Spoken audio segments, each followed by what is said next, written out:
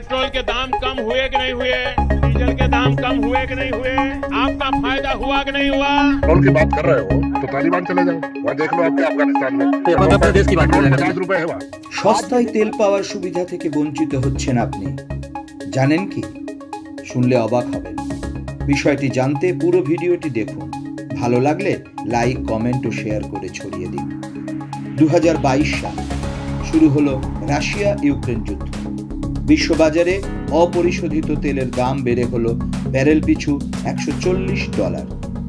দাম বেড়েছে। এই অজুহাতে দেশের বাজারে পেট্রোল ও ডিজেলের দাম বাড়িয়ে করা হলো প্রতি লিটার যথাক্রমে একশো চার দশমিক সাতষট্টি টাকা ও উননব্বই দশমিক উনআশি টাকা। গত বছর এপ্রিলে সেই তেলের দাম কমে হলো বাহাত্তর ডলার আর বর্তমান বছরে ব্যারেল পিছু আশি থেকে পঁচাশি ডলার। কিন্তু আপনি কিনছেন? পেট্রোল প্রতি লিটার একশো ছয় দশমিক শূন্য তিন টাকা আর ডিজেল বিরানব্বই দশমিক ছিয়াত্তর টাকা।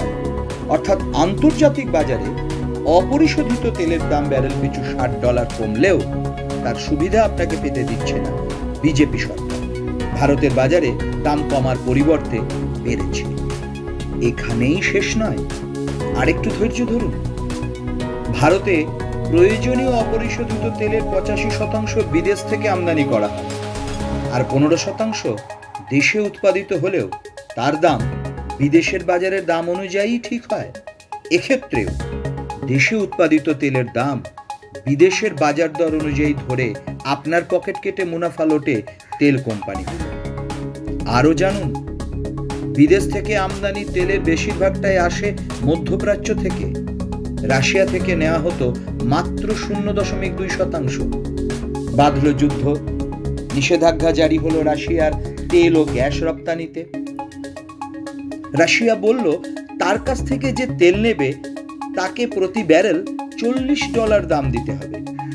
ভারত শুধু কিনল তাই নয়, শূন্য দশমিক দুই শতাংশ থেকে আমদানি বাড়িয়ে বাইশ তেইশ অর্থবর্ষে করল পঁয়ত্রিশ শতাংশ। আর তেইশ চব্বিশ অর্থবর্ষে আরও বাড়িয়ে করল পঞ্চান্ন শতাংশ।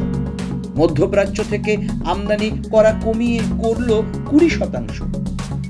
কিন্তু সবটা বিক্রি হচ্ছে আন্তর্জাতিক বাজারের দামে। অর্থাৎ ব্যারেল পিছু পঁচাশি ডলার ধরেই। অত্যন্ত কম দামে রাশিয়া থেকে জ্বালানি কিনে গত বছরের তুলনায় এবছর ভারতীয় তেল কোম্পানিগুলোর সাশ্রয় হয়েছে এক দশমিক চৌষট্টি লক্ষ কোটি টাকা। আর এই তেলকে সে বিক্রি করছে আন্তর্জাতিক বাজারের দামে। তাহলে লাভের অঙ্কটা কোথায় গিয়ে দাঁড়াচ্ছে, আপনি কিছু ভাবতে পারছেন কি? আন্তর্জাতিক বাজারে তেলের দাম কমে যাওয়া, রাশিয়া থেকে সস্তায় তেল পাওয়ার পুরো সুবিধাটা সাধারণ মানুষকে বঞ্চিত করে তেল কোম্পানিগুলোকে নিতে দিচ্ছে নরেন্দ্র মোদীর নেতৃত্বাধীন বিজেপি সরকার। তেলের দাম ব্যাপকভাবে কমতে পারে যদি সরকার চায়। তাহলে পরিবহন খরচ কমে যাবে, মূল্যবৃদ্ধি নিয়ন্ত্রণে আসবে। কৃষিক্ষেত্রে সেচের খরচ ব্যাপকভাবে কমে যাবে, কৃষকের আত্মহত্যা কমবে, সাধারণ মানুষ একটু স্বস্তির নিঃশ্বাস ফেলবে। কিন্তু সরকার তো কর্পোরেটের পুঁজির মালিকদের স্বার্থে পরিচালিত, সংসদও এ ব্যাপারে নীরব। কি করা উচিত আমার, আপনার, আমাদের সকলের? ভাবুন।